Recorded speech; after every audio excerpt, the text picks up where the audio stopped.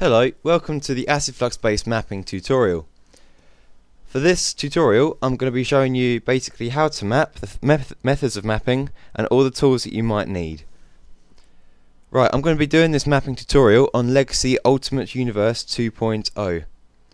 Uh, most of the stuff featured in this mapping uh, editor won't be available in most other games since there are particular features in this uh, total mod that you won't find in other ones.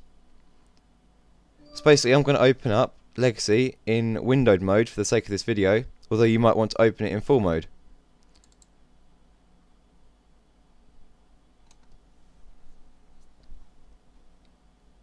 Might take a couple of minutes to load up. There we go.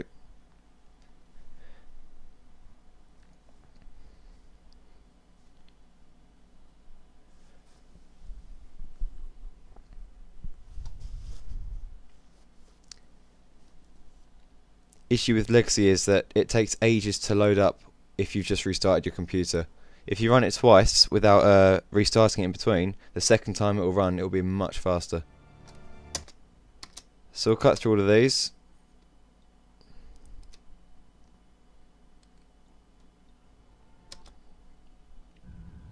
And we are faced with the main menu. To get to the map editor, we go to Extras. We click on Map Editor and you've got this option here. Now in this box you can put in any map name that exists in the Soul or any of the uh, the child folders in the Soul folder in your legacy directory.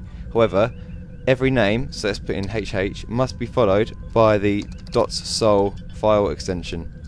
Otherwise you'll get an access violation. But we're going to start a new map. So we go onto map editor here and we are faced with a loading screen and then an empty map all you can see is a camera in the middle, but we'll come to the cameras in a minute. So if I zoom out by scrolling out on my uh, mouse, I can press G to show me a massive grid. That's a 3D grid. Pressing G again will show me a 2D grid. And pressing G, G a third time, I see both. Which is quite handy when you want to know how 3D or how wide your map is, and so on and so forth. Now if we go up to here, we've got a tool called the object list and this shows all the tools that will be or all the objects that will be in your map and that will follow this list down here. We'll get rid of that. You've also got map dialog and this shows you basically the base settings of your map. You've got the width and the height which are the width and height of the dimensions you can see from the default view. It doesn't show depth because uh, that's a default setting I believe Number of players, which can go up to 8, but we'll put it for simplicity at 4. These are what type of map it's going to be. We're going to make this a simple skirmish map, although for missions, which are a bit more complex, you can put in campaign mission or planet conqueror, which change the uh, base settings of the actual map, so it's a bit more um, bit more depth to the type of gaming that you want to play. And you put in mission title. I'm going to call this I've already got a map called Test Run. We'll call this Demian. Nice and simple. And we'll put a red, green, yellow background on it. I think that's what it stands for anyway, I'm not really sure. Okay, so that's the main settings set up. So we press OK. And it should change it to that. So you've got a new background. Now we're going to get down to some of the map objects now when you click on map objects you've got all of these um, options to pick from. You've got moons, so we can chuck a moon there and say there. You can go back to planets and these are different types of planets. If you know your uh, your trekking stuff then you know that M's the one you can live on and there are various various others you can live on and so on. But we'll pick a class K desert. Myself I don't really know all the class of planets. I know that M you can actually live on and so on, so forth. Big nebulas are pretty important in map. I normally make mine really, really big, but so they don't take up much power on your computer, so not too laggy. What I'm going to do here is make a decent sized nebula using one of these stock nebulas. Now, to make it really big, you've got the size thing down here. and when you put in say 4000 by 4000 by 9000 actually we'll make that a bit more realistic 5000 um, when you press apply to nebula without changing any of the other settings it will take forever to load and it will be pretty big. In fact if you make the size big enough it will actually crash your game. So I'm going to run you through the methods to make a really sort of faint subtle nebula and then I'll run through a really thick sort of um, a strong nebula so to make this quite big and quite responsive on your computer we're going to change this to 1.5 this is basically the density of each blob and each blob consists of different sized splats so if we zoom in which I can't at the moment don't know why. Oh. So if I zoom in to here you can see each blob and the splats which are inside it so if I change this to 1.5 some of those blobs disappear because there's less blobs in a certain area and more blobs in a certain area means it's more dense, less means it's less dense. So we've reduced the density.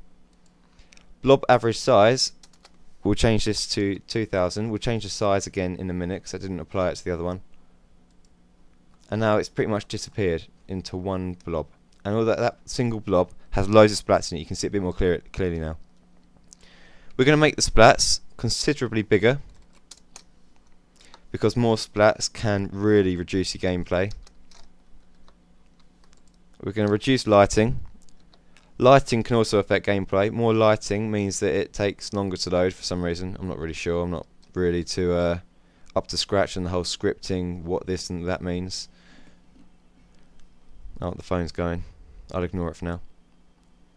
Now we're going to make this sort of a bluey sort of nebula. So you've got the primary colour. That's going to be red, uh, green and blue. And the same down here, red, green and blue.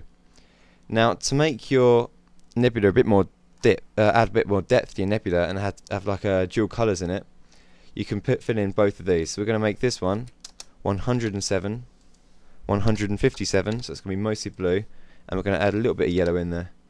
Now this one we're going to make pretty much equal 120, 120 for the red and blue, so it's going to be purple, and this one we're going to have as 50, which will add some other colour to it. Now we're going to increase the size 9000 9000 by 4000 and hopefully it shouldn't take too long to load since we've got quite a large sort of splat size in there which means less splats and bigger blob sizes which means less blobs, bigger blobs. So we're going to apply that to nebula and there we go. It loads pretty much instantly. We've got a nice purple, very subtle nebula there. However, I think I can make it a bit more um, noticeable without reducing gameplay. So what I'm going to do is make this 1.9 so we've got a few more blobs in that uh, area. I'm going to increase this to 1.6 which will reduce gameplay a little bit and I'm going to increase this to 7. I'm going to apply. A bit more loading this time but it's still very responsive on my computer and that seems to be running nicely. So I click off that, we've got a nebula. Now to move your nebula around and to do all sorts with it, you can click on the top of the orange thing, or if you go out here, you can see when you've got it in your uh, in your perspective, when it shines green at the corners up there, and orange. So now I can move it around. However, if it's just green, which you can get at some point, I don't know, uh, it won't move around. So you've got it selected here. Now to rotate it around at different angles, you need to right click on it so you've got it selected here now to rotate it around at different angles you need to right click on it and simply move it around like that now since my nebula is wider and higher than it is deeper I'm going to keep it on a pretty much horizontal plane and there we go that's a nebula added now to add slightly more stronger nebulas say this red one here uh, I'm going to show you how to do that. Now basically, this nebula here looks pretty ugly. Uh, very blotchy and stuff. So I'm going to do, I'm going to make the colour a little bit more um, map friendly or eye friendly. You don't really want to be looking at uh, that's for too long. So now we've got a bit more of a purple one, which is nice. We'll add a bit more red to it. Very nice. And uh, that's quite a thick nebula now. And we're going to increase the splat density. It's a bit stronger. And we're going to increase